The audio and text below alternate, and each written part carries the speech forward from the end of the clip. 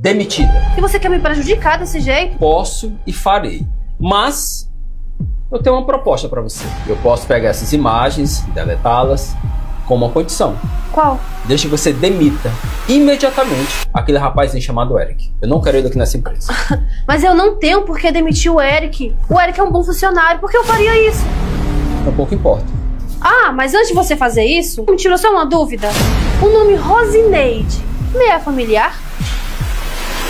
O que é que essa louca tem a ver com isso? Ah, então eu descobri o seu segredo, Marcelo. Eu sou tia dele. Sério? Sim, conheço o Eric. Inclusive, o pai dele trabalha aqui também na empresa. Aqui? Quem é o pai dele? Marcelo. O Marcelo é pai do Eric?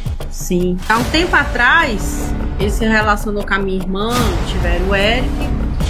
E, inclusive, foi um canalha, mas Foi um grande mau caráter com ela no passado. E me confessou que você é o pai do Eric. Por isso que você quer ver ele fora dessa empresa. Por isso que você o despreza, porque você tem vergonha, você o renega como filho. Tá, mas só que você não tem nada a ver com isso. Eu vou lhe dar até o final da tarde pra você decidir. Ou você demite o Eric, ou então você nem precisa vir trabalhar amanhã aqui.